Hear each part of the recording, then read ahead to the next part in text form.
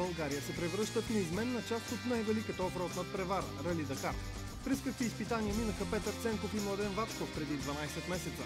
Гледайте филма «Българската следа в Рали Дакар 2012» на 29 декември в 8 сутринта по БНТ 1.